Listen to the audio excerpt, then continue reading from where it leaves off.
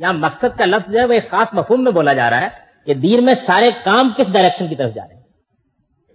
तो इस आखिरी नुकता नज़र में ये सारे काम जो हैं, ये 24 घंटे जो कुछ आप कर रहे थे इस डायरेक्शन की तरफ़ होते हैं। कि इसको पाक रहना है। इसको पाक होना है। इलम में भी पाक होना है। अमल में भी पाक होना है। पाकी असल मकसूद है। ये हासिल होनी चाहिए हर हाल में। ये हासिल नहीं हुई तो कुछ भी हासिल नहीं हुआ। ये चीज़ है जिसके लिए मुझे जीना और मरना क्योंकि खुदा की जन्नत जो है, उन्हीं को मिलनी है कि जो ये पाकी हासिल कर ले। ये तीन नुकता है। जी? हाँ वो आपका नुकता नज़र है अच्छा हो गया। मेरा ख्याल यह क्या वक्फा कर लिया जाए। एक।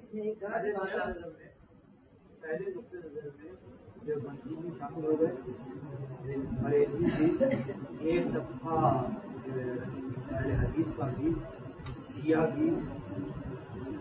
इमाम खुमैनी ने जो रूस के सदर को खत लिखा था, वो आप लोगों की नज़र से गुजरा होगा यकीनन।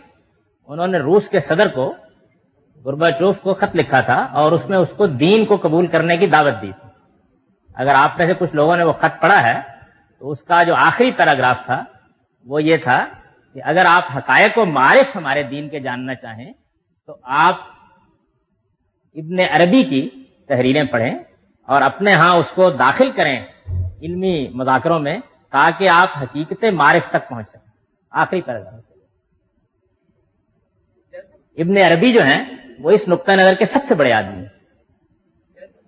इमाम खुमैनी ने जो हाल में खत लिखा है, अपनी ज़िंदगी के आखिरी अयाम में, उसमें इस्लाम की दावत दी थी उन्होंने। असल में जो आदमी जिस जगह पर खड़ा होता है तो ज़रूरी नहीं होता ना कि वो किसी वक्त नमाज़ पे गुफ्तू कर रहा है, किसी वक्त रोज़े पे गुफ्तू कर रहा है। लेकिन फिर यह है कि वो असल में क्या चीज़ है जिसको असल हदफ समझता है? उन्होंने इसको वाजे कर दिया था, बयान कर दिया था कि तुम्हारा जो बहरान है, रूहानी बहरान जिसमें तुम मुबतला हो, अगर तुम इससे निकलना चाहते हो तो इतने अरबी के ज़रिए से तुम्हें ये हकीकत और ये मार्फत हासिल हो सकती जी, जिनको शेख अकबर कहा जाता है। वो शेख थे, शेख नहीं थे। कहीं आपने शेख बना दिया? तो लोग मारेंगे आपको। हम्म? इसी तीसरे नुकता नज़र में, बड़ी वजाहत से इसको बयान किया। जी। जी हाँ एक एक में से आप बैत समोतात कर लें, दूसरे में आप चिल्ला कर लें, और तीसरे में थोड़ी कुरान सीख लें। क्या रह जाए इसमें? दूसरे नुकता नज़र के मुताबिक ये बात समझ में आती है कि दीन सियासत के बगैर मुकम्मल नहीं। तो क्या ये बात दुरुस्त है कि दीन के तकमील के लिए सियासत में दाखिल होना पड़ेगा? असल में मैं चाहता हूँ कि वक्फा कर लें। उसके बाद आप लोग चाहेंगे तो मैं अगले मौजू की तरफ़ बढ़ जाऊँगा और चाहेंगे तो मैं इन नुकता नज़र पर तनकीद कर दूँगा। ये आप लोगों के इंतखाब पर है। उसमें इस सवाल का जवाब भी आपको हासिल हो जाएगा, लेकिन ये बात उसूल में बिल्कुल ठीक है कि ये जो दूसरा नुकता नज़र, तीसरा नुकता नज़र है, उसमें सियासत शरीयत के मवायस में से एक बहस है। जिसमें यह बताया जाता है कि सियासत का तस्किया कैसे होगा? यानी सियासत को या सियासी अमल को कैसे पाक किया जाएगा? बस, उसमें दिलचस्पी इस तक होती है। लेकिन उस नुकता नज़र में सियासत हदफ बन जाती है, इसलिए कि बहरहाल हुकूमत इलाहिया जो है, वो सियासी अमल के बगैर तो कायम नहीं हो सकती। ये फ़र्क वाकई होता है। तो कितने वक्त करना है। पंद्रह मिनट? जी? बीस मिनट? ठीक है जी, नौ बजे फिर इंशाला ये हमारी बहनों की तरफ़ से दो सवालात हैं। वैसे तो ये मालूम ही है कि मैं जब कभी भी हाजिर होता हूँ, इस तरह की मजालस में तो घंटों सवालात के जवाब देता रहा हूँ और उसके बहुत सी चीज़ें रिकॉर्ड मौजूद है। लेकिन इस प्रोग्राम की नौीयत, क्योंकि एक मखसूस तरबियती नशस्त की थी तो इसमें इसका एहतमाम किया गया था कि मौजू से हटकर कोई सवालात जो है वो जेर बहस न लाए जाए। वो फिर बात बहुत दूर निकल जाएगी। दाढ़ी से शुरू होगी, टखनों पर जाकर खत्म हो जाएगी। तो कुछ काम ताकि कर लिया जाए। लेकिन मैं अपनी बहनों की रियायत करते हुए दो लफ्जों में ये जवाब दे देता हूँ, उसके बाद दरखास्त करता हूँ कि इस तरह के जितने सवाल हैं, मैं दिन में मौजूद होता हूँ। जब चाहे पूछ लीजिए। कोई खास नशस्त भी किसी छुट्टी के दिन हो सकती है, अगर आप चाहें। लेकिन इस प्रोग्राम में मौजूद तक महदूद रहें। यह है कि हज और उम्र कौन से महीनों में हराम है? हज और उम्र आप जब चाहे कर सकते हैं। सवाए इसके कि हज का मुकर वक्त है, वो तो उसी में करना पड़ेगा आपको। हदीस कुदसी से क्या मुराद है? ये आमतौर पर मुहदसिन तो ज़्यादातर इस्तेमाल नहीं करते, लेकिन आम लोग इस्तेमाल करते हैं ऐसी हदीस जिसमें अल्लाह ताला की तरफ़ से कोई बात बयान की हुई उसको हदीस कुदसी कह लेते हैं। लेकिन ये बस अवामी की असलाह है, कोई महक्कीन की असलाह नहीं। मेरी ये दरखास्त उम्मीद यह है कि बलहू से खातिर रहेगी। आम सवालात, ये जितने सवालात भी आ रहे हैं इस तरह के सबके यहाँ पे इनके पास कैसेट्स मौजूद होंगे। सभी के मैं जवाब दे चुका हूँ, बारह दे चुका हूँ कई कई मजालिस में दे चुका हूँ, घंटों दे चुका हूँ का लेकिन अब अगर हम मौजूद तक महदूद रहे तो कुछ हम दीन सीखने का जो अमल कर रहे हैं, उसको पाया तकमील तक पहुँचा दें।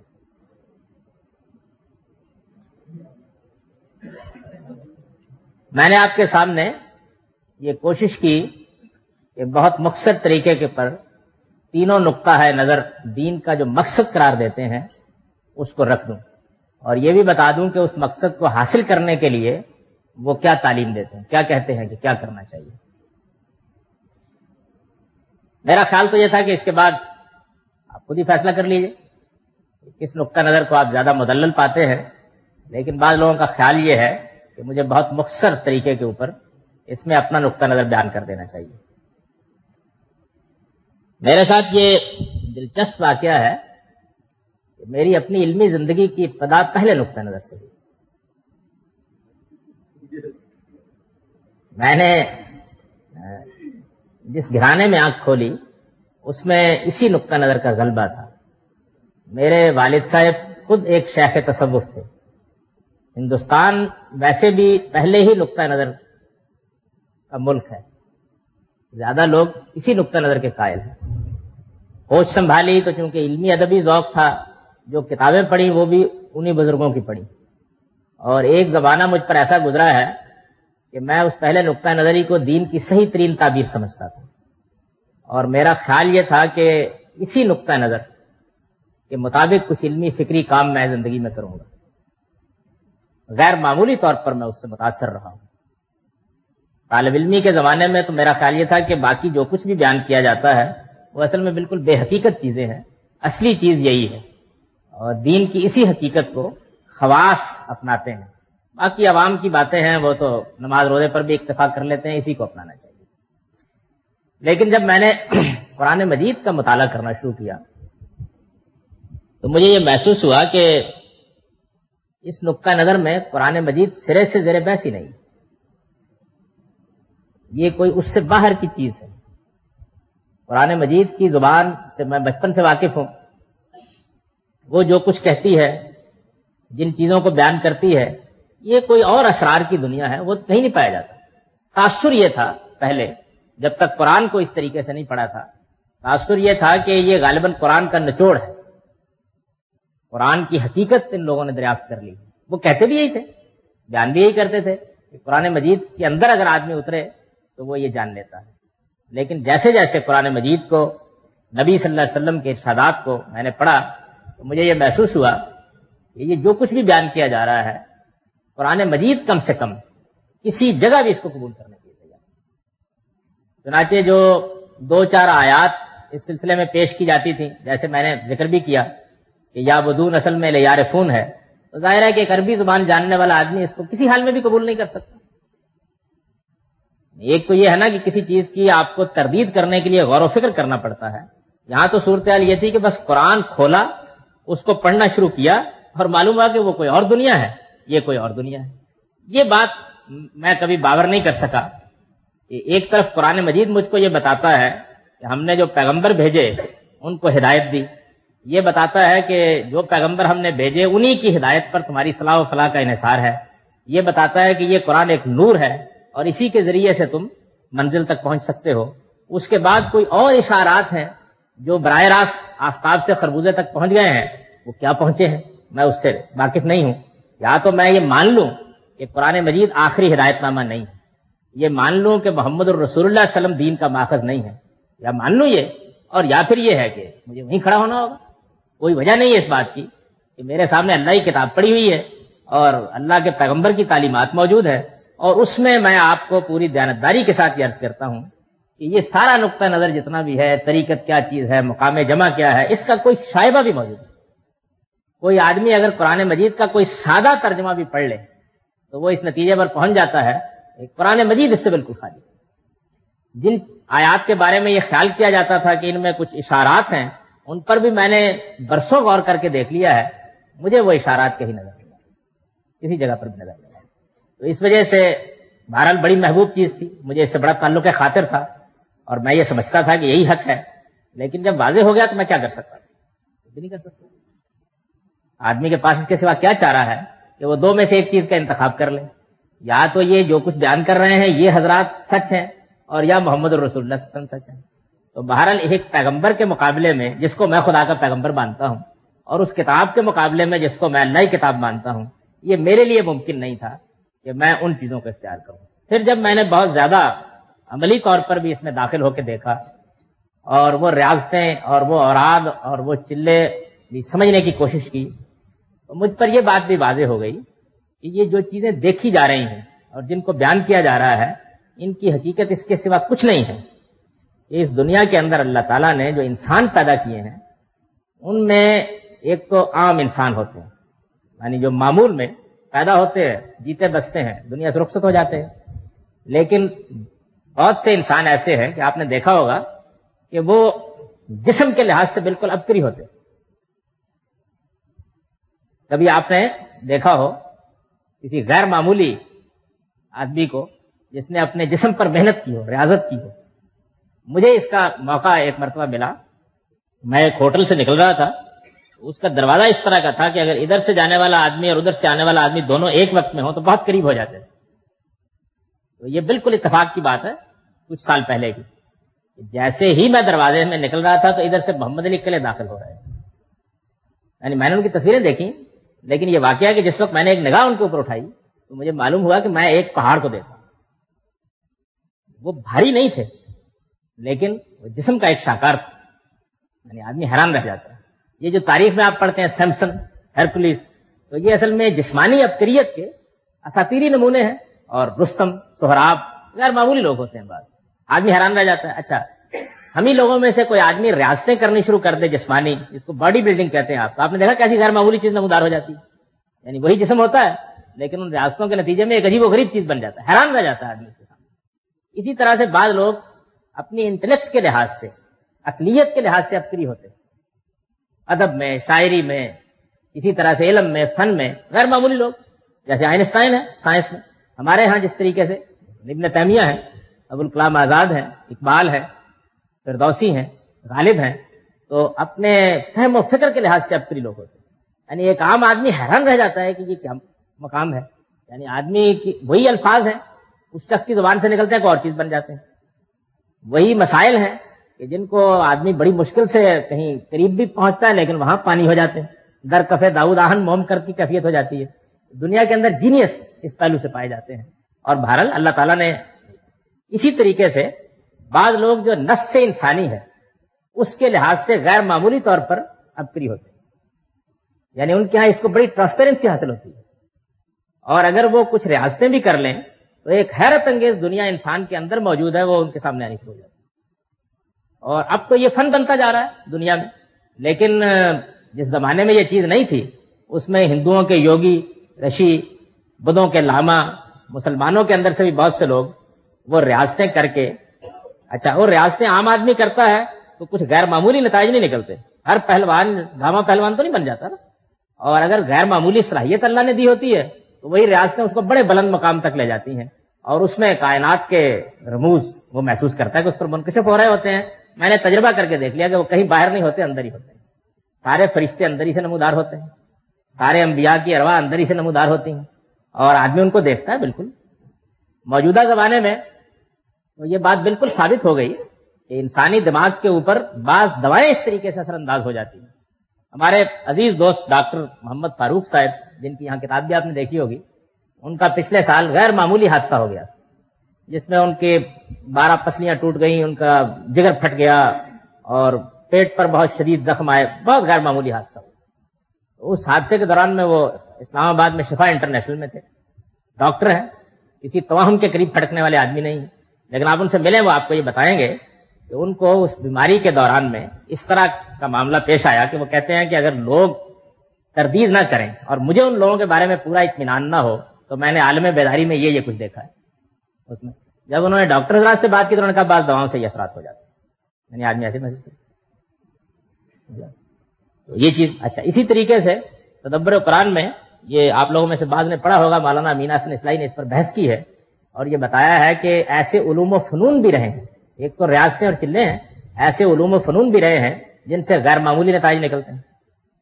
कुरान मजीद ये कहता है कि जब जादू का बहुत ज़ोर हुआ बाबल में तो अल्लाह ताला ने हारूत और मारूत पर एक ऐसा इलम नाजिल किया कि जो उस जादू का तोड़ करने के लिए बड़ी गैर मामूली हैसियत रखता था। और ये मालूम होता है कि हज़रत सुलेमान के जमाने में उनके दरबार में वो शख्स मौजूद था, जिसके बारे में कुरान कहता है कि अल्लाह इंदा इल्म मिनल किताब। उसके पास कानून खुदाबंदी का एक इलम था, एक फन से वो वाकिफ था कि जब उन्होंने कहा कि मैं ये चाहता हूँ कि मलका बिल्किस का तख्त मंगवाया जाए तो जिन ने ये कहा कि मैं दरबार के बर्खास्त होने तक ला सकता हूँ। और उसने कहा कि मैं पलक झपकने में ले आऊँगा और सामने तख्त पड़ा हुआ यानी अभी हमारा जो मादी साइंस है, वो अपनी तहकीक में यहाँ तक पहुँच गई ना कि एक फुटबॉल का, एक क्रिकेट का मैच जो है वो अमेरिका में हो रहा होता है और हम यहाँ देख रहे होते यानी चंद सेकंड के वक्फे से उसकी हरकत सकनात आवाज़ सब मुंतकिल हो रही होती है। बस बंदा रह जाता है, मुंतकिल होना। तो उसने ये भी कर दिया। अपने उस के नतीजे में पूरा का पूरा तख्त उठा के सामने रख दिया। इंसान के अंदर बड़ी गैर मामूली सलाहियतें हैं। इंसानों में से कुछ इंसान इस मामले में बहुत अबकरी और जीनियस होते हैं। कुछ मशकें और कुछ रियाजतें हैं, मैं उनसे वाकिफ हूँ कि जिनके ज़रिए से बड़ी गैर मामूली सलाहियतें पैदा हो जाती हैं। मौजूदा जमाने पैरा एस्कोलॉजी के माहरीन जो है, वो आपको बता रहे हैं हेप्नोटिज्म में और इस तरह की चीज़ों में बड़ी गैर मामूली चीज़ें नमूदार हो जाती है। पिछले दिनों आपने देखा होगा, चंद साल पहले जिन साहिब ने जादू के ज़ोर से मुजस्मा आज़ादी गायब कर दिया उसमें से हेलीकॉप्टर गुजारा गया, गुजर गया। दीवारें चीन के एक तरफ़ से वो दाखिल हुए, दूसरी जानब से निकल गए। तो दुनिया के अंदर बेशुमार इस तरह के मामला होते रहते हैं। अब ज़ाहिर बात है कि जब आदमी एक मज़हब की दुनिया में होता है तो वो इन चीज़ों की दूसरी तोजी करता है। इसी तरह से एक खास तरह की इन मशकों, रियासत कॉन्सेंट्रेशन आदमी के अंदर पैदा हो जाती है। एक इरतकाज उसके अंदर पैदा हो जाता है। ये बिल्कुल ऐसे ही है जैसे आपने देखा होगा ना कि ये लोग नशा क्यों करते हैं? यानी उनको उस नशे से खास कैफियत महसूस होती है। अब ज़ाहिर बात है कि वो कैफियत हासिल करने के लिए तबाह कर लेते हैं अपने आप को। ऐसे ही तो नहीं करता कोई आदमी। तो उन रियाजतों से, उस मशकों से भी एक खास तरह का इरतकाज आदमी को हासिल होता है। उस इरतकाज के नतीजे में नमाज़ बहुत अच्छी पड़ी जाने लग जाती है। नींद पर बड़ा कंट्रोल हो जाता है। कहा ये कि आदमी तरसता है कि भाई वो तहजद के वक्त उठ जाए, और कहा ये कि आप एक बजे मेरे वालद गिरामी थे मुझे कभी याद नहीं है ये ज़िंदगी में कि वो एक बजे के बाद सोए, कभी याद नहीं। मेरी अपनी सहर खेजी की आदत उन्हीं की वजह से हुई। मैं सारा काम सुबह ही करता हूँ, नमाज़ से पहले। और आदत पड़ गई बचपन ही से। उनकी वफात जब हुई तो उस वक्त भी वो एक सवा एक बजे उठे, वज़ू किया उन्होंने, करके आ रहे थे तो मैंने महसूस किया उनकी आवाज़ में कुछ तब्दीली आ रही है, चंद लम्हों के अंदर वो दुनिया से रुखसत हो गए। तो ये एक मखसूस फन भी है, और इंसानों के दरमियान भी इसकी। अब ज़ाहिर बात है कि ये चीज़ बुद्धों के यहाँ भी आपको मिलेगी, योगियों के यहाँ भी मिलेगी, हिंदुओं के बड़े बड़े पुराने लोगों में भी मिलेगी। हम मुसलमानों के हम भी ये चीज़ मिलती है। और इस चीज़ की वजह से जब आम आदमी उसकी क्रश्मा साजियाँ देखता है तो वो ये ख्याल कर लेता है कि अब मुकाम जमा हो या विशाल हो या इसको बहरल गलत नहीं हो सकता। उसकी वजह यह है कि जो दीन का आलिम है वो दलाइली दे रहा होता है बेचारा। ये कृष्मा साजियाँ तो नहीं करके दिखा सकता। इससे आदमी गैर मामूली तौर पर मुतासर भी होता है। बाकी ये मैं आपसे अर्ज़ करूँ कि कुरान मजीद में जो आ, कोई एक दो आयतें पढ़ी जाती हैं वो तो ऐसा है कि मुझे उसकी तरदीद में कोई लंबी तकरीर करने की ज़रूरत नहीं है। आप खुद पढ़ें बिल्कुल वाजे हो जाएगा आप करो कुरान मजीद में कोई ऐसी बात ही नहीं। और ये बात देखिए, वो अपने बयान में खुद तस्लीम कर लेते हैं कि रसूलुल्लाह सलम के जमाने में तो इस चीज़ की ज़रूरत इसलिए नहीं थी। कि इस मुकदमे को। ज़रूरत इसलिए नहीं थी कि ये चीज़ आपकी सोबत से हासिल हो जाती थी। इसका मतलब यह है कि कुरान भी खाली है इससे। रिसालत वसल्लम की ज़ुबान से जो कुछ निकला है, वो भी खाली है इससे।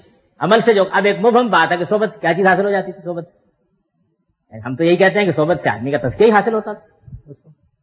मुकाम जमा पर पहुँच जाता था। इसी तरह ये करामतें और इस तरह की जितनी चीज़ें हैं, आप साहबा कराम को देखें तो आपको कोई शायबा भी उसका नहीं मिलता। एक आध किस्सा सैयद उमर के बारे में या बाद लोगों के बारे में बयान किया जाता है, लेकिन तहकीक कसौटी पर पूरा नहीं उतरता। अच्छा फिर यह है कि जो बुज़ुर्गों के सिलसिले हैं, इसमें, इस पहले मकबा फ़िक्र में, उन सिलसिलों का भी अगर आप मुताला करें तो उसमें पचास पचास साल के फ़र्क से लोग एक दूसरे से सीख रहे हैं, लेकिन वो कहते हैं कि सीना बसीना मुंतकिल हो जाता है। ये बात मानना कि रसूलुल्लाह वसल्लम ने कुछ इलम तो वो है जो कुरान और सुन्नत की सूरत में हमको दिया और कुछ इलम छुपा के सीना बसीना दे दिया। ये कुरान मजीद की सरी नसूस के खिलाफ है। इसलिए कि कुरान मजीद तो ये कहता है कि पैगंबर, हमने जो दीन तुमको दिया है, अगर इसको आपने नहीं पहुँचाया तो माँ बल्लख पर रिसालत। तो आपने उस ज़िम्मेदारी को पूरा नहीं किया कि जो ज़िम्मेदारी आप पर डाली गई है। इस बात को तो कलेजा थाम के मानना पड़ता है कि हजूर वसल्लम ने कुछ दुनिया को दे दिया और कुछ चुपके चुपके किसी और के हवाले कर दिया। अच्छा वो चुपके चुपके को अगर मान लिया जाए तो फिर तो सारी बुनियाद ही खत्म हो जाती है, ज़मीन पर आ जाती है। किसी चीज़ पर भी एतमाद बाकी नहीं रहता। हम किस उसूल के ऊपर ये बात तस्लीम कर लें कि जो हमें कुरान की सूरत में दिया गया है, सुन्नत की सूरत में दिया गया है, वो दीन है। तो मेरे नज़दीक तो दो लफ्जों में ये सारी बात खत्म हो जाती है। हम इससे पहले बहस करके ये नज़रिए पर पहुँचे कि दीन क्या है? दीन नाम है मोहम्मद रसुल्लम के कौल व फेल और तकरीर तस्वीर यही बहस किया ना हमने। तो जो चीज़ वहाँ नहीं पाई जाती, वो आसमान पर उड़ने की सलाहियत पैदा कर दे। या जबरील अमीन को ले आए, हम माजरत के साथ उसको वापस कर देंगे। उसकी वजह यह है कि या तो फिर मोहम्मद रसुल्ला को रसुल्ला माना जाएगा और या इन चीज़ों को इन दोनों में से कोई एक चीज़ इख्तियार की मेरे नज़दीक मुख्तर तौर पर, यानी अगर मैं उनके तमाम पहलुओं को लेकर उस पर नक करूँ तो उसके लिए दायरा दस निशस्तें चाहिए। मुख्तर तौर पर मैंने आपको बता दिया। अच्छा मैंने यह किया था कि मेरे साथ तो यह हादसा हुआ कि मैंने यहाँ से इब्तदा की। उसके बाद जब तालब इलमी के जमाने में पहुँचे तो दूसरे नुकता नज़र पर पहुँच इसलिए कि जिस वक्त शूर की उम्र को पहुँचे तो मालूम कि उसी का गलबा है, और उसके लिए जद्दोजहद हो रही है, पूरी दुनिया में हो रही है, और बेशुमार लोग उससे मोटिवेट हुए हैं। तो उस वक्त तक ज़ाहिर बात है कि मुस्बत तौर पर यह जानना कि कुरान क्या कहता है। एक तो ये चीज़ें कुरान में ये नहीं पाया जाता। ये एक मुश्किल चीज़ थी। कुरान मजीद में दर्क हासिल करने में, उसकी ज़ुबान को समझने में, उसके फहम फ़िक्र के अंदर उतरने में बरसों लगते हैं। और जब आपके सामने एक चीज़ दलाइल के साथ पेश की जा रही तो आदमी ये महसूस भी करता है कि ये बड़ी कभी बात है। लेकिन इस नुकता नज़र में ये बड़ी खूबी है, दूसरा नुकता नज़र में, कि ये बहरहाल इस्तदलाल तो कुरान से करता है ना। यानी इसमें हम बड़ी आसानी के साथ ये जान सकते हैं कि जो आप आयत पेश कर रहे हैं, जो हदीस पेश कर रहे हैं, उसको आप भी समझा रहे हैं, हम भी समझ सकते हैं। वहाँ तो पहले नुकता नज़र में तो मसला ये है कि आपको उस दुनिया में जाना पड़ता है। जब तक आप उस दुनिया में नहीं जाते मुझे भी हकीकत यह है कि उसमें थोड़ा जाके मालूम हो गया कि उसकी हकीकत क्या है। वाजे हो गया। और मैं आपसे अर्ज़ करूँ कि इसमें एक सूफी हैं बड़े बुज़ुर्ग सूफी हैं लाहौर में। उन, उन, उनका मरकज है मॉडल टाउनी में ख्वाजा अब्दुल हकीम अंसारी। उन्होंने इस मौजू पर कुछ तसनीफात छोड़ी हैं अपने पीछे। और एक बड़ी खूबी यह है कि वो ज़िंदगी भर इस नुकता नज़र के हामी रहे लेकिन जाते जाते इसके राज सब मुनकशिफ कर गए सब कर गए अगर कभी आपको मौका मिले उनकी बात चीज़ें पढ़ने का तो आपको ये मालूम होगा कि एक आदमी ने दुनिया के ऊपर ये बड़ा एहसान किया है कि जाते जाते बता दिया कि है असल में क्या। और वो वही है जो मैंने आपको बता दिया। यानी इंसान के वही नफ्सी अमाल है। उन्हीं में ये सारी चीज़ें नज़र आती हैं। और यहाँ पे बाज डॉक्टर आदमी बैठे हैं, उनको ये मालूम है कि बहुत से ऐसे अमराज हैं, जिन अमराज में आदमी हो सकता है कि पंजाबी के अलावा कोई ज़ुबान ना जानता हो, लेकिन लातीनी बोलना शुरू कर दे। और ख्याल किया जाता है कि जिन आ गया। लेकिन ये कि एक इंजेक्शन तबीयत दुरुस्त कर देता है, बिल्कुल, आदमी ठीक हो जाता है, सब जिन रुखसत हो जाते हैं। होम्योपैथिक की एक कुड़िया आप दे दें, मैंने देखा है, वो बिल्कुल दुरुस्त कर देती है, आदमी उसी जगह आ जाता है जहाँ पर हकीकत में उसको होना चाहिए। और मालूम होता है कि तमाम जिन्नात गायब हो गए हैं, और इंसान वैसा का वैसा ही कमज़ोर, बेबस, और ना तो आपके सामने खड़ा हुआ है। ये हो जाता है। तो मैं यह कर रहा था कि दूसरे नुकता नज़र में ये खूबी अलबत्ता है कि उस नुकता नज़र में जो बातें कही जा रही हैं, बहरहाल उसकी बुनियाद किसी चीज़ पर कायम की गई है। उसमें कुछ आयात हैं कुरान मजीद की, कुछ मकाम हैं जिनको जेर बहस लाया जाता है। तो अगर आप गौर करें और मजालस में शरीक हों, सुने आप इस नुकता नज़र के अहले इलम की तकरीरें, उनकी तहरीरें पढ़ें तो आपको ये मालूम होगा कि उसमें बहुत अहमियत जिस आयत को हासिल है, वो सूरह शुरा की, गालिबन तेरह नंबर आयत इसमें आदमी को ये ख्याल होता है ना, गलती कैसे लगती है? ये भी एक नाजुक मौजू है, गलती कैसे लगती है? कुरान मजीद अल्लाह की किताब है, और कुरान मजीद ही से बेशुमार चीज़ों पर इस्तेमाल किया जा रहा होता है। कैसे गलती लगती है? मैंने अपनी 25 साल की ज़िंदगी में जो कुछ इल्मी काम किया तो मेरे सामने भी ये सवाल रहा, एक आयत से एक आदमी एक चीज़ निकाल रहा है, दूसरा दूसरी चीज़ निकाल रहा है, मसला क्या हो जाता है? सबब क्या है? मैंने ये देखा कि इसके वजूद तीन होते यानी गलती लगने की वजह क्या बनती है? जब मैंने इस पर गौर किया तो मुझे यह एहसास हुआ कि तीन वज़ू होते हैं, जिनकी वजह से आदमी को गलती लगती है। एक वजह यह होती है कि बसा औकात आदमी कुरान मजीद की ज़ुबान के मामले में अपने दौर या अपनी ज़ुबान या अपने मुहावरे से मुतासर हो जाते हैं। देखिए, इसकी मैं मिसाल आपको दे दूँ। अरबी ज़ुबान और अंग्रेज़ी ज़ुबान का वो ताल्लुक नहीं है, जो अरबी ज़ुबान और उर्दू ज़ुबान का है। अंग्रेज़ी ज़ुबान में भी अरबी के बाद अल्फाज मुस्तामिल है, लेकिन वो दो सफों में बयान किए जा सकते हैं। उर्दू ज़ुबान में तो अरबी ज़ुबान के बेशुमार अल्फाज मुस्तामिल लेकिन वो सफ़र तय करते करते उर्दू में जिस मफहूम में आ गए होते हैं, वो मफहम उनका अरबी में नहीं होता। एक आदमी अगर अच्छी अरबी नहीं जानता या जानता है और गलतफहमी में मुबतला हो गया है, इसके इम्कान होते हैं पूरे। पूरे इम्कान होते हैं। वही लफ्ज अरबी ज़ुबान में बिल्कुल और मफहूम में बोला जा रहा होगा। हमारी उर्दू में पहुँचते पहुँचते बिल्कुल और मफहूम में बोला जाएगा। खातिर का लफ्ज है, हम रोज बोलते हैं, मैंने आपकी खातिर ये काम किया अरबी का लफ्ज है, लेकिन अरबी में इस मानी में नहीं बोला जाता। इसी तरह एहसान का लफ्ज एहसान का लफ्ज अरबी में जब बोला जाता है तो वो काम को अच्छे तरीके से करने के मानी में बोला जाता है। लेकिन हमारे यहाँ किसी पे एहसान जताना, एहसान रखना, इस मफहूम में बोला जाता है। अरबी में इस मानी में इस्तेमाल ही नहीं होता। अरबी में बिल्कुल दूसरा लफ्ज है जो इसके लिए इस्तेमाल किया जाता है। तो बहुत से अल्फाज है ऐसे कि वो वहाँ किसी और मफहूम में थे और यहाँ पहुँचते पहुँचते अच्छा बात बहुत से अल्फाज तो ऐसे हैं जिसमें ज़ुबान जानने वाले एक आदमी को पता ही होता है, लेकिन बाज जगह इसमें गलती लग जाती है। बाज जगह पर गलती लग जाती है। इन्हीं अल्फाज में आदमी बसा वकात यहाँ जो मफहूम उर्दू से वक्त कर रहा होता है, वो कुरान मजीद में दाखिल कर देता है। नेक नियति के साथ दाखिल कर देता है, लेकिन बात कुछ से कुछ हो जाती है। एक सबब मैंने ये महसूस किया कि उर्दू ज़ुबान और अरबी ज़ुबान के इस बाहमी ताल्लुक से मसला पैदा हुआ है। और वक्त होता तो मैं आपको बताता कि कितने ही मसले हैं जो सिर्फ़ इस वजह से पैदा हो गए। यानी आदमी ने क्या किया? उसने उस लफ्ज को उर्दू के मफहूम में लिया और उर्दू के मफहूम में लेके उसके मानी बयान कर दिया। ये वो मिसालें भी आ रही क्यों ना मिसालें उसी मसले की दी जाए कि जो वरना बहुत बात दूर निकल जाएगी। मेरे पेश नज़र ये भी है कि दस दिनों में हम कुछ ना कुछ मुकम्मल कर लें। एक सबब ये होता है। दूसरा सबब ये होता है कि आदमी शाह सबाक को नजरअंदाज कर रहे यानी एक बात अगर आप उस जुमले को एक जुमले की हैसियत से उठा लें तो उसके वो मानी हो सकते हैं। लेकिन अगर आप उसको स्याको सबाक में रख दें तो उसके मानी बिल्कुल मुख्तलिफ़ हो जाते हैं। इसकी एक बड़ी सादा सी मिसाल मैं आपसे अर्ज़ करता हूँ। कोई आप पुराने मजीद का तर्जमा, तफसीर उठाएँ। कुरान में आयत है, ला यमस्सो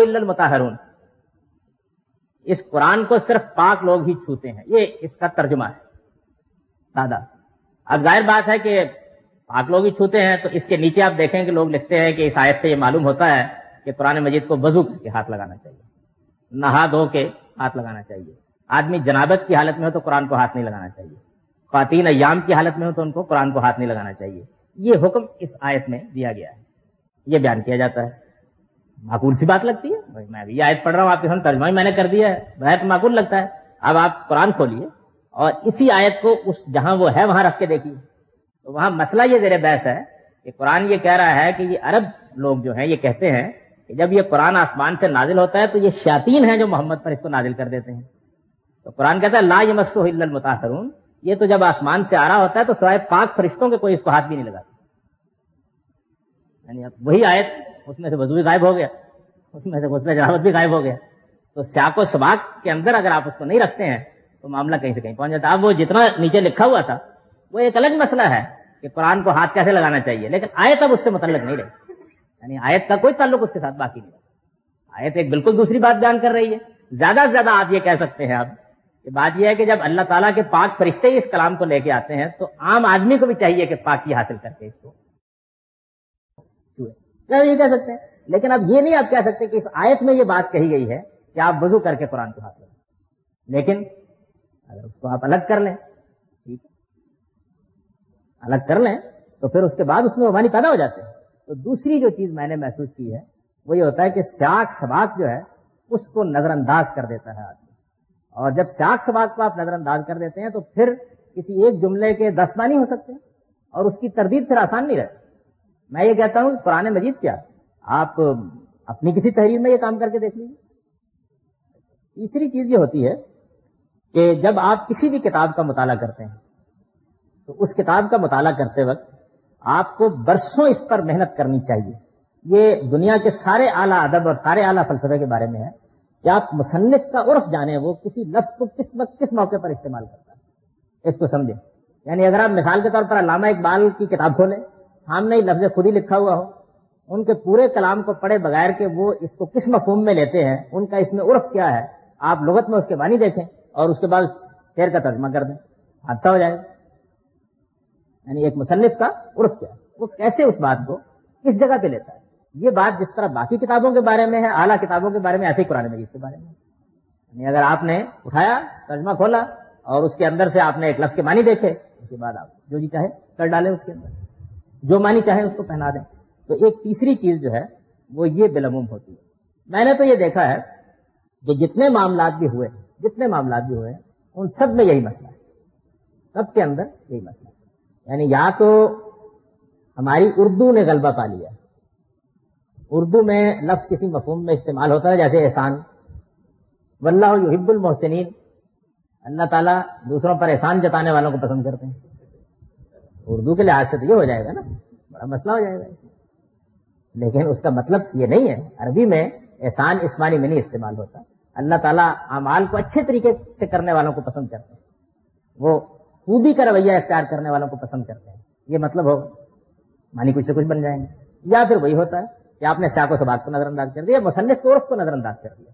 अगर आप दुनिया में जो अच्छा क्रिटिसिज्म हुआ है अदब पर, आप पढ़ें शेक्सपियर पर मिल्टन पर, अंग्रेज़ी ज़ुबान में बहुत काम हुआ है इस पर तो आपको ये मालूम होगा कि जब तक आप इन तीनों चीज़ों के ऊपर बड़ी गिरफ्त में रखते हैं, एक तो यह है कि जिस ज़ुबान की किताब है, आप उसके उस क्लासिकल मफहूम से वाकिफ अहद बहद कोई तब्दीली अगर आ गई है तो आप जानते हो कि उस तब्दीली के नतीजे में लफ्ज में क्या तगैर हो गया ये ज़रूरी है उसको जानना। अगर आप मिसाल के तौर पर नवाए वक्त के इदारिये में जो ज़ुबान इस्तेमाल होती है, उसकी रोशनी में आप गालिब के कलाम को पढ़ना शुरू कर दें तो वो बेचारा वफात पा जाएगा। एक मरतबा फिर अपनी कबर में। बहुत मुश्किल हो जाएगा उसके लिए। नतीजा निकलेगा। तो ये ज़रूरी है कि आप जिस जमाने की ज़ुबान है, उस देखें कि उस वक्त ये लफ्ज किस मानी में इस्तेमाल होता है। पूरी तरह वाकिफ हो। वरना किसी अहद, किसी दौर, किसी बात की चीज़ का असर बिल्कुल हद ये है कि जो अरबी ज़ुबान के महक्कीन हैं, वो अरबी ज़ुबान के पहली सदी के बहुत बड़ा शायर है मुतनबी पहली सदी का, यानी रसालत महाब वसल्लम के करीबी जमाने का शायर अरबी ज़ुबान, जो कदीम अरबी ज़ुबान है, उसमें उसके शेर से दलील पेश करने को जायज़ नहीं समझते। इसलिए जो वो ये कहते हैं कि ये देहात से उठकर शहर में आबाद हो गया था। तो जो अजमी जुबानों का असर था, उसकी वजह से इसके यहाँ बाज अल्फाज के मानी वो नहीं रहे थे जो पहले थे। ये तो एक सदी बात की सूरत हाल। तो जाइए कि आप आज के जमाने में से कोई चीज़ उठाए और उसके मानी उससे अक्स कर लें। तो मैंने ये देखा है कि ये जो दूसरा नुकता नज़र है, ये जिन आयात और जिन हदीसों से इस्तेमाल करता है, उनमें बैने ही यही हुआ। यानी अगर आप गौर करें तो मालूम होगा कि बिल्कुल यही बात हुई। मिसाल के तौर पर ये जो आयत मैंने अभी आपके सामने पढ़ी, इसमें लफ्ज इस्तेमाल हुआ है, अन अकीमुद्दीन। उर्दू में उसका तर्जमा कर दिया जाता है, और कायम करो दीन को। उर्दू में यह लफ्ज मानी बोला जा सकता है, भाई किसी चीज़ को नाफिज करो, बस बात खत्म हो गई। यानी ये बता दिया गया कि मैंने दीन इसलिए दिया है कि तुम कायम करो इस दीन को दुनिया के अंदर, और हुकूमत इलाहिया कायम कर दो। लेकिन ये जो अन अकीमुद्दीन है, इसमें लफ्ज एकामत अरबी में इस्तेमाल हुआ है उर्दू में इस्तेमाल नहीं हुआ। यानी एकामत देखिए इसको मैं बहुत फन्नी बहस नहीं करूँगा। इस मौजू पर मेरी एक तहरीर मौजूद है, तावील की गलती के उन्वान से। मेरी किताब बुरहान में छपी हुई है। उसमें मैंने ज़ुबान की बहस करके ये बता दिया है कि बहुत माजरत के साथ अरबी में इसकी ये मानी नहीं होती। यानी जो मानी लिए जा रहे हैं, नाफिज करो, गालिब करो अरबी में ये इस मफहूम में नहीं आता। इसको इसको बड़ी सादा मिसाल से आप ये समझिए कि बैन ही यही लफ्ज जो है, कुरान मजीद में कई मकाम पर इस्तेमाल हुआ। अकीम उसलात अकाम उसलात नमाज़ नमाज़ कायम करो। क्या मतलब है उसका? यानी नमाज़ को दुनिया पर नाफिज कर दो। उठो और जाकर एक डंडा पकड़ो और लोगों को नमाज़ पढ़ा दो। यानी अरबी ज़ुबान में ये जो लफ्ज है, इसका बिल्कुल ठीक मफहम यहाँ ये है कि इसको अपनी ज़िंदगी में बरकरार रखो। जिसे हम बोलते हैं ना, इस चीज़ पर कायम रहो। इसको कहीं निकलने ना देना। ये कहीं छूट ना जाए तुमसे। तो कुरान मजीद की उस आयत का मतलब ये नहीं है क्या पैगंबर, हमने ये दीन तुमको दिया और इस हिदायत के साथ दिया कि इसको दुनिया में जाकर कायम कर दो। उसका मफहम यह है कि पैगंबर, हमने ये तुमको दीन दिया इस हिदायत के साथ दिया कि इसको अपनी जिंदगियों में बरकरार रखो। ये कहीं तुम्हारी जिंदगियों से गैर मुतलक ना हो जाए। जैसे आप एकामत सलात में कहते हैं, इस नमाज़ को अपनी जिंदगियों में बरकरार रखो, इस नमाज़ का एहतमाम रखो, ये नमाज़ कहीं छूट ना जाए। ऐसा ना हो कि तुम इसको अपनाए ना रहो। इस नमाज़ के ऊपर कायम रहो। कामत सलाद का मतलब ये है, नमाज़ का एहतमाम रखो। नमाज़ को कुरान ने इसको खुद वाजे किया, दूसरी जगह पर। अगर आप पढ़ें तो आपको ये मालूम होगा कि कुरान मजीद बेशुमार जगहों पर, कुरान की ये बड़ी खूबी है कि वो अपने बाद अल्फाज के मफाहिम को खुद वाजे कर देता है, बड़ी खूबी के साथ वाजे करता है। तो नमाज़ के बारे में अक्सर जगहों पर आप देखेंगे यही फेल इस्तेमाल हुआ है अकाम सलात। लेकिन एक मुकाम पर कुरान मजीद ने उसको खोला, हम मला सलातिम दायमून, हम मला सलातिम युहाफिजून। वो अपनी नमाजों पर हमेशा कायम रहते हैं, वो अपनी नमाजों की हिफाजत करते हैं, उनको बरकरार रखते हैं। यानी खुद ये बात कुरान ने वाजे कर दी कि इकामत सलाद का मतलब क्या है? नमाज़ पर दवाम इख्तियार करना। नमाज़ को अपनी ज़िंदगी बनाए रखना।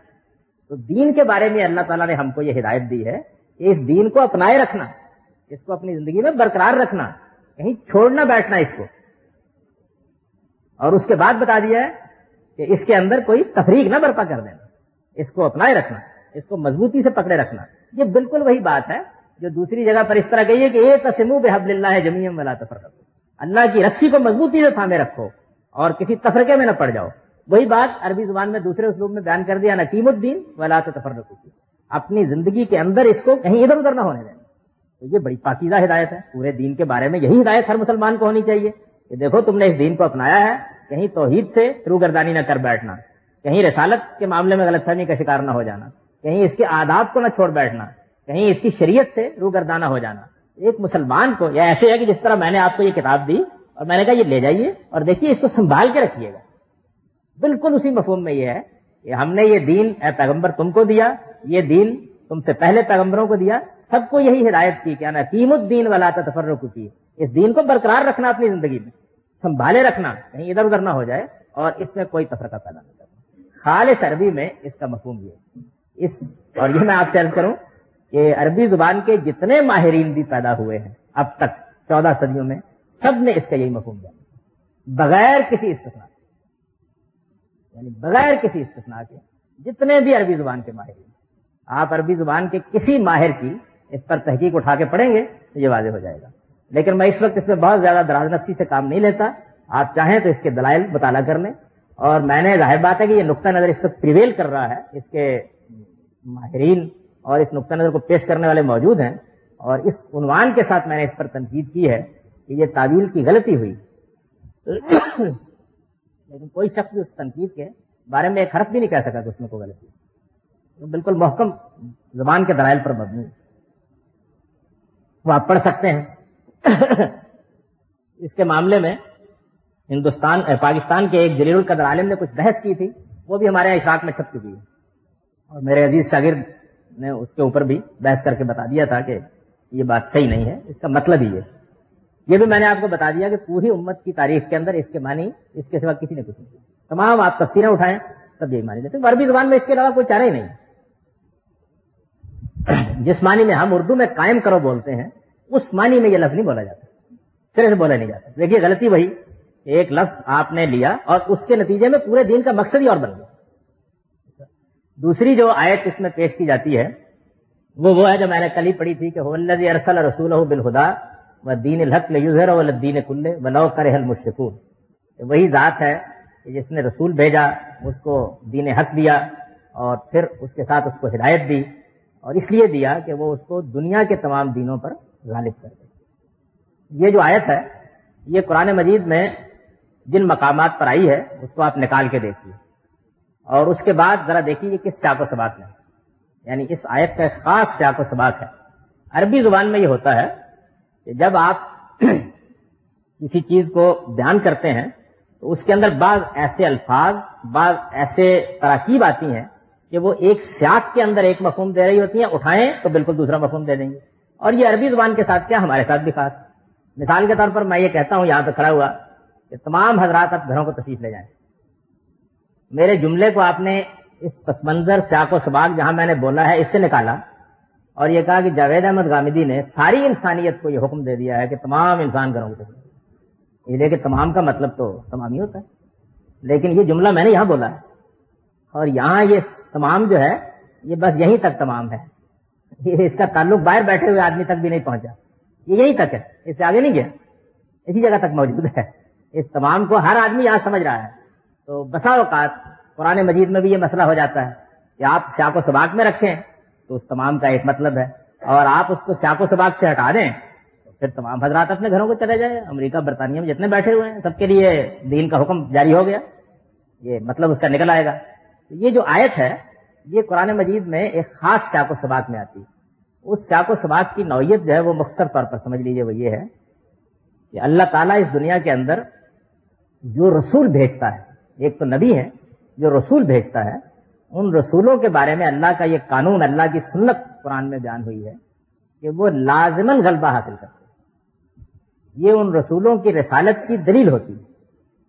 यानी वो लाजमन गलबा हासिल करते उनकी कौम अगर उनको मानने से इनकार कर दे तो लाजमन मगलूब होती है और तबाह कर दी जाती है। ये अल्लाह ताला का कानून है। ये कानून कुरान मजीद में कई जगहों पर बयान हुआ है। लाजलबन्ना आना बरसली ये बात कतबल्ला अल्लाह ने लिख रखी है, तय कर रखी है कि वो और उसके रसूल कभी मगलूब नहीं होते। लिख रखी है ये एक कतई कानून है। ये कानून जिन जगहों पर कुरान में बयान हुआ है, उनमें आमतौर पर बाद में ये आयत आ जाती है कि लन तजदल सुन्नत तब्दीला। अल्लाह का ये कानून कभी तब्दील नहीं होता। चुनाचे, जी। जी, रसूलों के बारे में। ये जो कानून है इस कानून को कुरान में अगर आप रख के पढ़ें और देखें कि इसकी नौयत क्या है तो आप पर यह बात वाजह होगी कि जब भी कोई रसूल किसी कौम में आता है तो वो आकर अपनी कौम को दावत देता है और पहले दिन ही से ये बात कहना शुरू कर देता है कि मैं खुदा की अदालत बनकर आया हूँ और मैं तुम्हारे बारे में फैसला करके जाऊँ। अल्लाह ताला ये कहते हैं कि जो कयामत उन्होंने बर्पा करनी है सारी कायनात के लिए, वो कयामत वो जमाना रसालत में वक्तन फवक्तन छोटे पैमाने पर बर्पा करते रहे। आगे क्यामत एक हकीकत के तौर पर मानी जाए। ये उसकी दलील के तौर पर अल्लाह ताला उसको बर्पा करते रहे। चुनाचे ये बयान करता है कुरान मजीद कि मिसाल के तौर पर सैदना लूत को उनकी कौम की जानब भेजा गया। उन्होंने अपनी कौम को दावत दी। वो खुदा के रसूल थे। जब उसके बाद उनकी कौम ने उनकी बात मानने से इनकार कर दिया तो एक वक्त में यह कहा गया कि तुम अब बस्ती को छोड़कर बाहर निकल जाओ। वो बस्ती को छोड़कर जैसे ही बाहर निकले, अल्लाह ताला का अजाब आया और वो बस्ती बिल्कुल मिटा कर रखी पुराने मजीद को अगर आप पढ़ें, ज़्यादा अगर ना पढ़ने का मौका तो एक कुरान की छोटी सूरज सूरह कमर, उसमें ये पूरा कानून, एक हिस्ट्री के तौर पर बयान हो गया। यानी उसमें ये बताया गया कि देखो, हमने लूह को भेजा, सूरह कमर में लूह को भेजा, और लूह ने आके अपनी कौम को दावत दी, कौम ने जुटला दिया, हमने अपने बंदे को चंद कीलों और चंद तख्तों पर उठा लिया, और उसके बाद वो सब के सब तबाह कर दिए गए। हमारा पैगंबर गलबा हासिल करके कामयाब रहा और वो मगलूब होके खत्म हो गए। उसके बाद एक एक का ज़िक्र किया है रसूलों में से। और फिर सूरा खत्म यहाँ की है क्या कुफारुकुम खैरुम मिन उलायकुम। क्या मोहम्मद, क्या तुम्हारा इनकार करने वाले इनसे बेहतर है? इनके साथ भी यही हो क्या कुरान मजीद हमको ये बताता है कि असल में ये वो कानून है जिसका रसूलुल्लाह वसल्लम ने वक्तन फक्तन ऐलान किया और कुरान ने भी ऐलान किया। और ये कह दिया कि जिस तरीके से पहले पैगंबरों के साथ ये मामला हुआ है तुम्हारी कौम के साथ भी यही मामला होगा। इस कानून की नौयत यह है कि इसमें दो शक्लें होती हैं। एक सूरत यह है कि पैगंबर ने दावत दी, दो चार दस बीस लोग ईमान लाए, उसको कोई ताकत कुत हासिल नहीं हुई, कोई इकतदार हासिल नहीं हुआ किसी जगह के ऊपर। लोगों ने उसकी बात नहीं मानी तो अल्लाह ताला उस बस्ती से उसको निकाल लेते हैं और उसकी बड़ी खूबसूरत तस्वीर खींची है कुरान मजीद ने हज़रत साले के मामले में कि हमने कहा कि अपनी कौम को अब अल्टीमेटम दे दो। उन्होंने कहा, तीन दिन का अल्टीमेटम है। उसके बाद हमने कहा, पीछे मुड़ के नहीं देखोगे। वो बाहर निकले बस्ती से। और फिर हमने आसिफ और तूफ़ान के ज़रिए से बिल्कुल उलट कर रख दिया। इस तरह उलट कर रख दिया कि उन तिलों में कोई तेरी नहीं खत्म कर दिया इस सारे मामले को। ये अल्लाह ताला की एक मौजाना और काहराना ताकत है, जो नमूदार होती है और सजा देती है आज़ाद के तौर पर। और उससे अल्लाह ताला ये साबित करते हैं कि देखो, वो क्यामत जो मैं बर्पा करूँगा, उसमें भी इसी तरीके से मैं अदालत लगाऊँगा और इसी तरह से नेक बंदों को मैं निकाल लूँगा और इसी तरीके से बदकारों को अजाब का निशाना बना दूँगा। ये बताते हैं। इसको कुरान दनूनत कहता है। ये खुदा ताला की अदालत है जो ज़मीन के ऊपर लग जाती है। तो अगर किसी खुदा के पैगंबर को किसी जगह इकतदार हासिल हो जाए तो अल्लाह ताला ये कहते हैं कि योजब भी ऐदी को उसके बाद पैगंबर के साथियों की तलवारों से वो अजाब आता है। यानी फिर अल्लाह ताला दूसरा तरीका इख्तियार करते हैं। रसूलुल्लाह सल्लम के मामले में ये दूसरी शक्ल हुई। यानी रसूलुल्लाह सल्लम की तारीख ये है, जो कुरान में बयान हुई है बड़ी वजाहत के साथ, कि मक्के में उन्होंने अपनी कौम को दावत दी।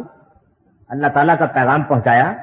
और जब वो पैगाम अपनी कौम को पहुँचाया तो मक्के में वहाँ की जो रियासत के आयान थे, सरबराह थे, अरब के बड़े सरदार थे कबायली निज़ाम था, उनमें से कोई मानने के लिए तैयार नहीं।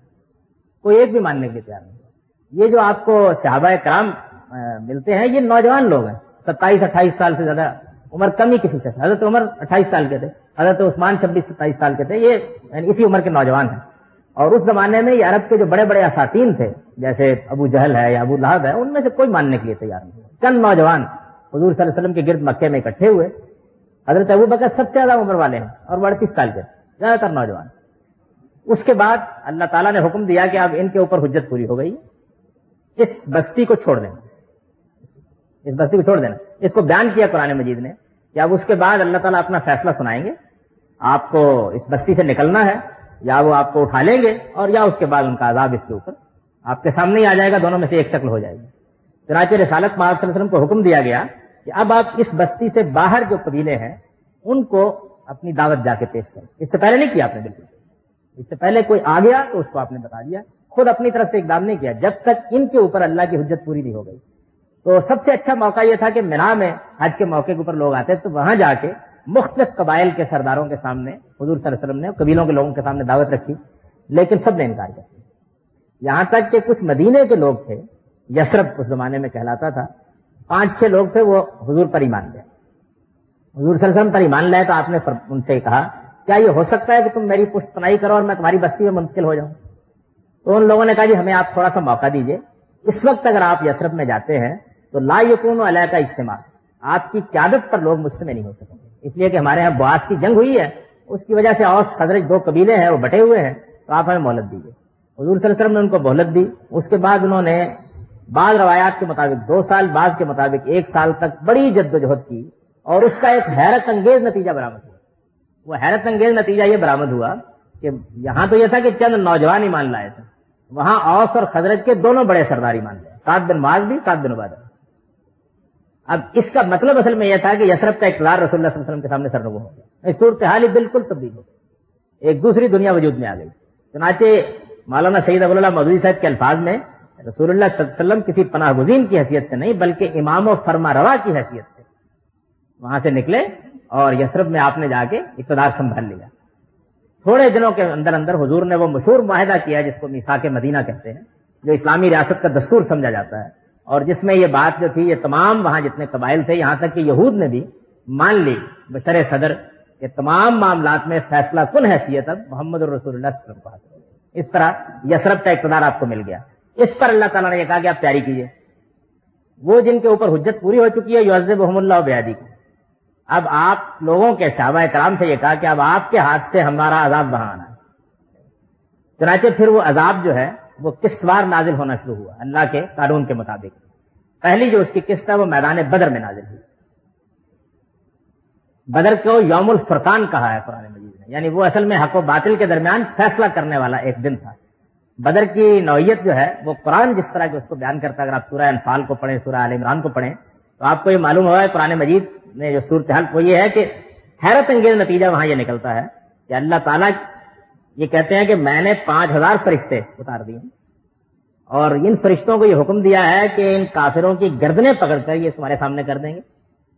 एक शादी ने इसके ऊपर बड़ा अच्छा तबसरा किसी ने कहा मैदान बदर में आप लोगों ने खूब दादे शजाद दी। उन्होंने कहा, बंधे हुए ऊंटों को मारा है। यानी वो बंधे हुए ऊँट पुराने मजीद जैसे बयान करता है। ये सूरत हाल थी। अल्लाह ने उनका इम्तहान तो लिया कि बेयारो मददगार, दो घोड़े चजर हैं, आठ शमशीरें। निकले वो लोग। लेकिन अल्लाह के कानून के मुताबिक जब उन्होंने अपने आप को पेश कर दिया तो फिर अल्लाह के फरिश्ते उतरे। और आज़ाद की पहली किस्त। और जब मैदान साफ़ हुआ तो हजूर ने पहले छेड़छड़ी पकड़ ली थी और ये बता दिया था कि यहाँ उतबा गिरेगा, यहाँ शहबा गिरेगा, यहाँ अबू जहल गिरेगा। सारी अरब की क्यादत खत्म, सारी की यानी उसमें आम आदमी जो है, ये दुनिया की हैरत अंगेज जंग है। मालूम होता है कि बिल्कुल पकड़ पकड़ कर खत्म कर दिए गए सारे के सारे। अबू लहब और अबू सुफियान, दो बड़े आदमी हैं। अबू सुफियान बच के चला गया और तारीख ने बाद में साबित कर दिया कि ईमान मुकद्दर में मौजूद था और उसको बहरल बचना ही चाहिए था। अबू लहब ने उसको मालूम था कि हजर क्या होना है। इसलिए कि ये बात कुरान कह रहा था, साफ़ लफ्जों में। तो मालूम था, ये सूरह लहब जो है वो बता चुकी थी, तब्बत यदा अभी लहबिन तब। ये जो नाम लिया है, खासतौर पर अबू लहब का तो ये सरदार है। सारी वहाँ की जो अरिस्टोक्रेसी है, उसका उसका सरदार है। ये तब्बत यदा अभी लहबिन तब। अबू लहब के आवानो अंसार भाई बंद खत्म हो जाए कुरान ने पेशिन ही कर दी थी। इसका माल कोई चीज़ भी काम नहीं आएगी। और अनकरीब सयसला नारन जात जा पड़ेगा। तो इस जालिम ने यह किया कि किसी से कर्ज इसने लेना था, इसने कहा, तुम मेरी जगह चले जाओ।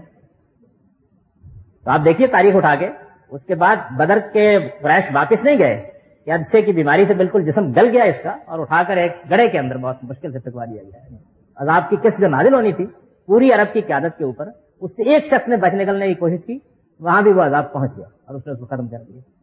इसके बाद फिर रिसालत वसल्लम ने एक अरसा जो है, वो इस कुत को फराम करने में गुजारा है कि मक्के के ऊपर हमला किया जा सके।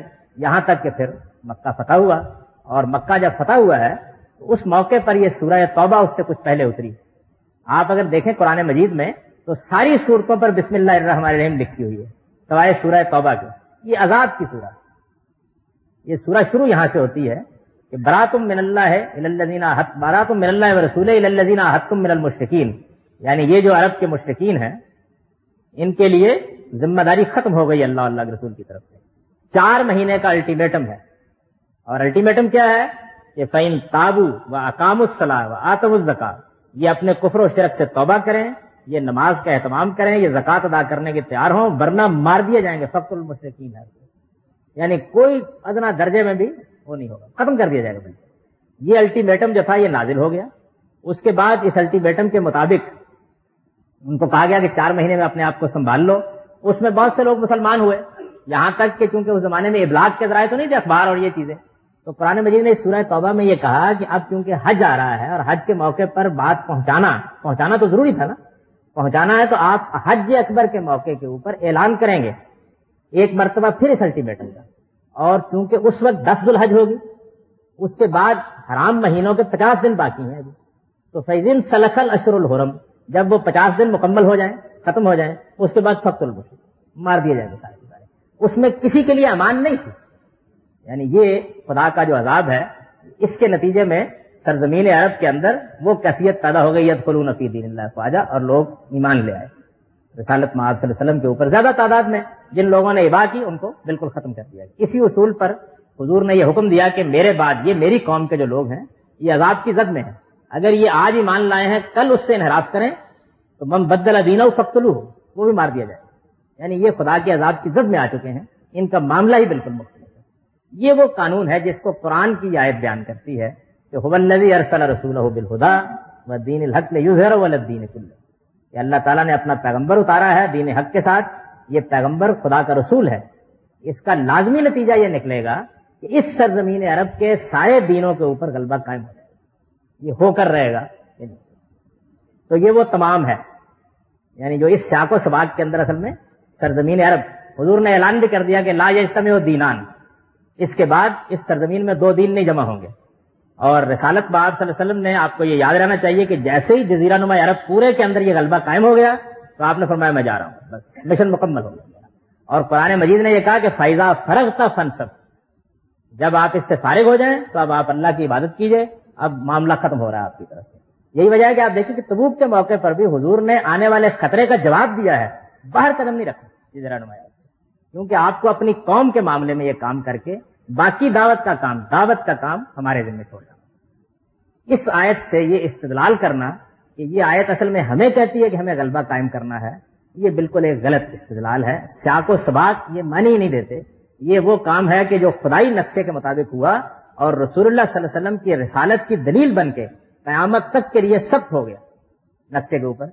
एक एक तनहा इंसान खड़ा हुआ, खुदा के पैगंबर के से खड़ा हुआ, उसने ऐलान किया कि मैं इस सरजमीन के तमाम अदियान का खात्मा करके यहाँ खुदा के दीन का गलबा कायम करके दुनिया से रुखसत होगा और वो करके चला यानी ये रिसालत वसल्लम की नबूत जो है, रिसालत जो है, उसके दलाइल में से एक अजीम हिस्सी दलील है। अगर आप देखें सूरह नसर को तो क्या कह रही है? हैरत अंगेज चीज़ है, कुरान में आप कोई दुनिया की किताब में आप ये सूरा नहीं पढ़ेंगे। इदा जा नसरुल्लाफत बरायतन ना सैयद खुलून फ़ी दीन ख्वाजा यानी ऐसे है कि जैसे ये तो एक वाक्य होना ही होना है। जब अल्लाह की मदद आ जाए, जब मक्का फतह हो जाए, उसके बाद तुम देख लो अपनी आँखों से जोक दर जोक लोग दीन में दाखिल हो रहे हैं। तो फिर उसके बाद तुम्हारा मिशन मुकम्मल हो गया। फिर तुम अल्लाह ताला से इस्तेफार करो और उसके बाद उससे मुलाकात की तैयारी करो। तो ये आयत दर हकीकत इससे मतलब है। हमको अल्लाह ताला ने क्या कहा है? हमें क्या करना है? वो दूसरी जगह पर बयान हुआ सारी चीज़ें एक आयत से निकालने की कोशिश नहीं करनी चाहिए। रसूलुल्लाह सल्लम अपना मिशन अधूरा छोड़ के नहीं गए। ये काम आपने कर दिया सरजमीन अरब में, और ये क्या चीज़ थी? ये अल्लाह ताला की तरफ़ से जब हुज्जत पूरी हो जाती है, इब्तदा में मैंने ये इस्तलाह आपको समझाई थी, हुज्जत पूरी हो जाती है तो फिर अल्लाह ताला मुनकरीन हक को ज़मीन पर बाकी नहीं छोड़ और रसूल की शक्ल में यह हुज्जत पूरी हो जाती ये मेरे नज़दीक दूसरी आयत का मामला है। उसके बाद आयात बुनियादी तौर जी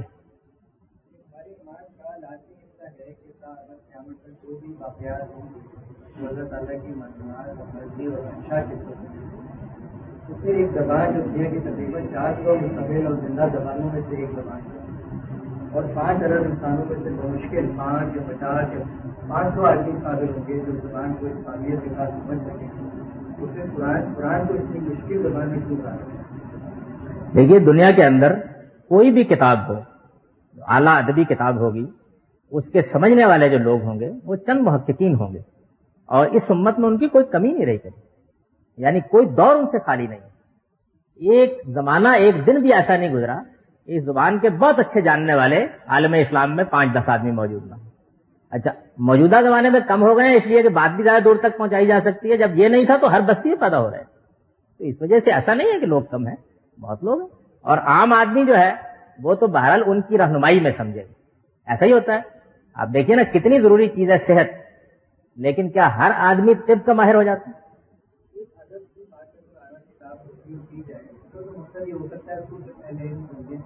लेकिन एक किताब जो एक, ऐसे मज़हब की किताब है है है तो, तो दो ही शक्लें थी ना। या तो इसको इतना सपाट और इतना सादा बना दिया जाता कि अहले इलम की दिलचस्पी खत्म हो जाती तो आला जहान तो बेताल्लुक हो जाती उसके नतीजे में। यानी ये अल्लाह ताला का तरीका नहीं है। दुनिया के अंदर अल्लाह ने जो कायदा बना रखा है वो ये तमाम उलूम फनून में वो ऐसा ही करता है। यानी साइंस जैसी चीज़ के लिए भी हर बच्चा आइंस्टाइन नहीं हो जाता। लेकिन उसका फैज सारी दुनिया को पहुँच रहा। तो ये हमेशा यही होता। ये सही नहीं अगर ये होता तो मैं आपसे अर्ज़ करता हूँ कि हम जैसे लोग फिर शेक्सपियर पढ़ते इस किताब का यही गैर मामूली उसलूब है कि जो हम जैसे लोगों को भी ज़िंदगी लगाने पर मजबूर कर देता रोज उसके नए असरार नुमाया होते हैं।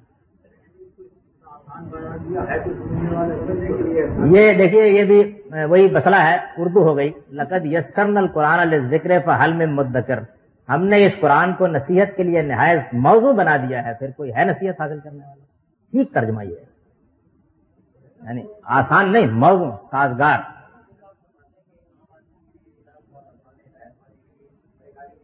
अपने तजर्बे की बात बयान करता हूँ। यानी कुरान मजीद को अगर आप उससे मोटी मोटी बातें सीखना चाहें तो उससे ज़्यादा दुनिया में कोई आसान किताब नहीं। मुजजा है।